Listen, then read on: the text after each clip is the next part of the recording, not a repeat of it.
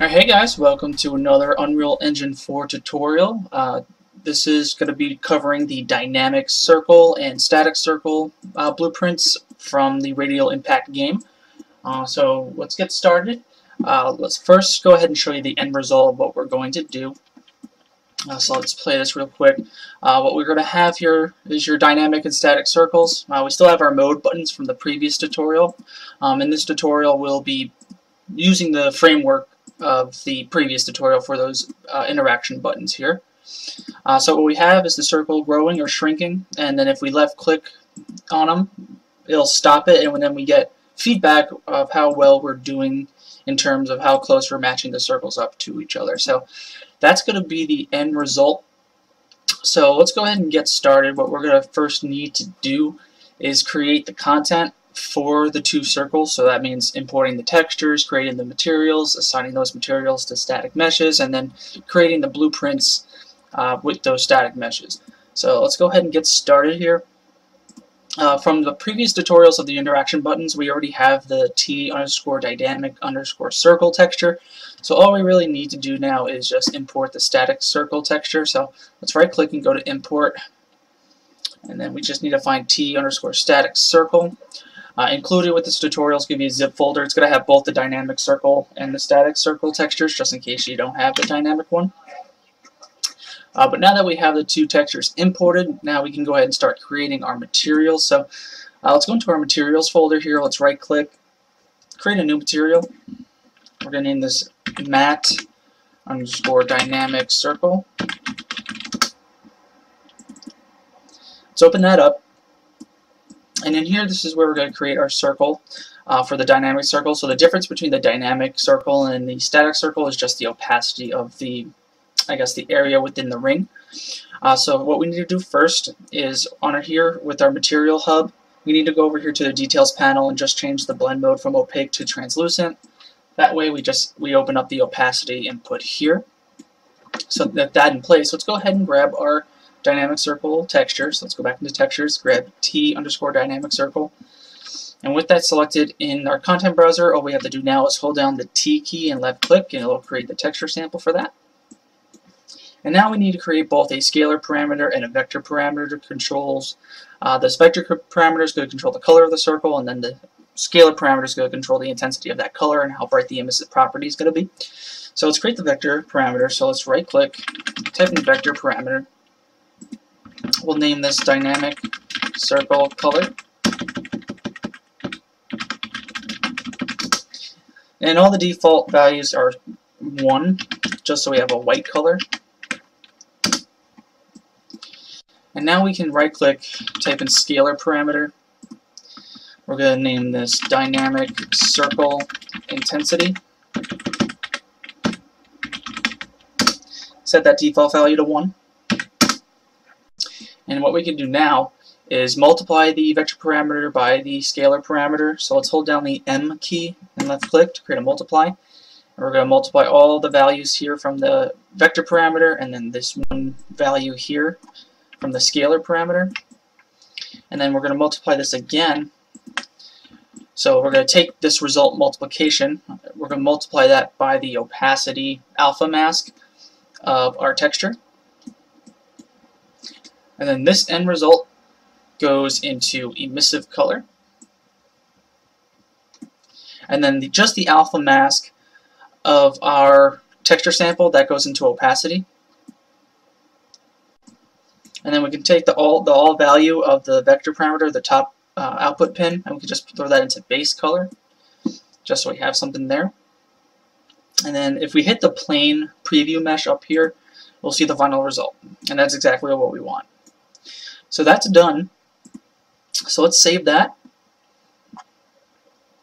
And the beauty of this is that the, the dynamic circle and the static circle, uh, they share an identical material, except uh, the texture is different and the parameters are named differently. So what that means for us is that we can just duplicate this material. If you just hold Control W, it should create a duplicate here. Let's see if we can get that going here.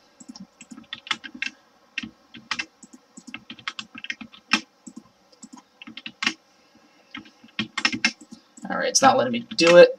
So let's just right click on it, hit duplicate, rename this mat underscore static circle. Double click on that. First thing we're going to do is replace the texture. And let's first put the preview mesh here for the plane up here. So let's go to our textures folder, find the T underscore static circle. With that selected, we can just replace it down here for the texture with this arrow. And then you'll notice the circle changes, obviously. Uh, it has a more opaque or less opaque center. And then we just need to change the names of these uh, variables for the vector and scalar parameters. So instead of it being dynamic circle color, we'll just call it static circle color. And instead of dynamic circle intensity, we'll call it static circle intensity. Everything else is the same, so let's save that.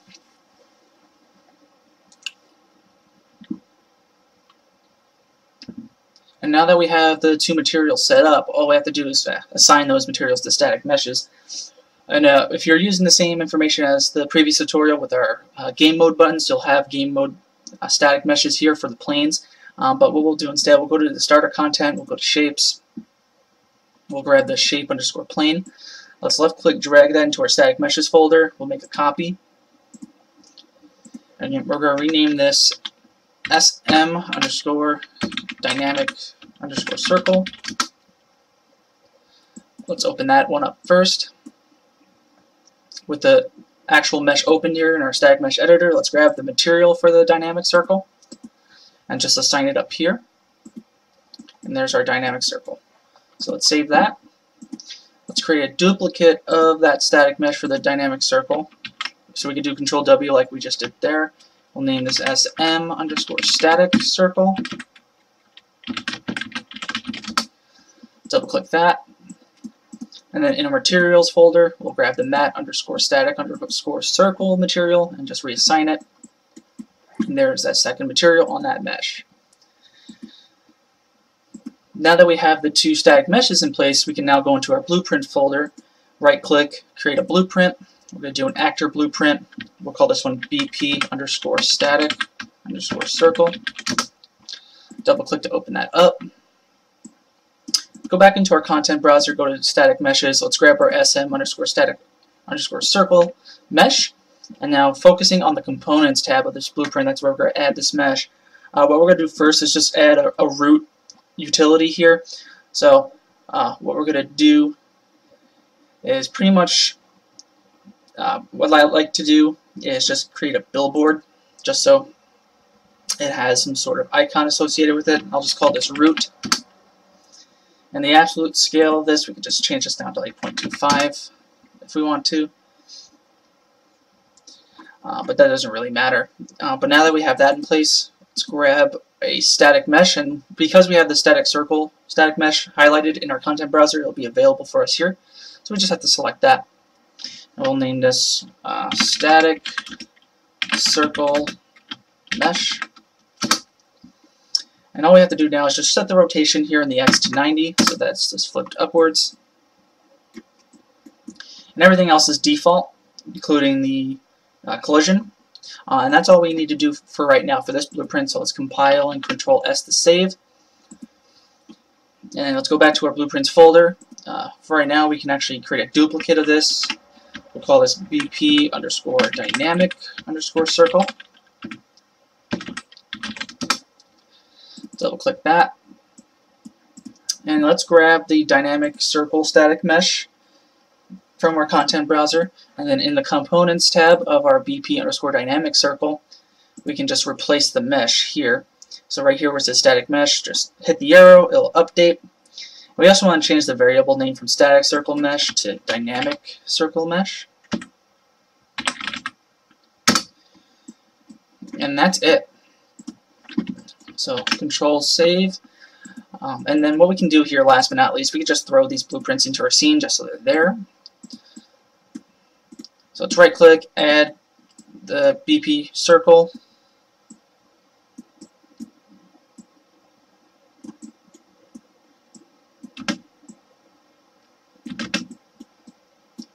Doesn't really matter where it's placed exactly.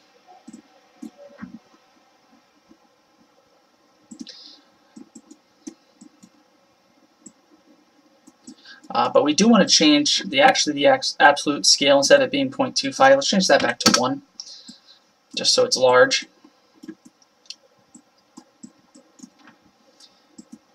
So that's the dynamic circle. Let's throw in the static circle. So let's just copy that. Right click, replace with the BP static, change its absolute scale 1. Um, and just to save us you know any kind of issues here, let's go back. Uh, for the root, let's just change the absolute scale back to 1. Just so we don't have to keep changing the size of it. So we got to do that in both of them here. So it's the root absolute scale, just change it all to 1.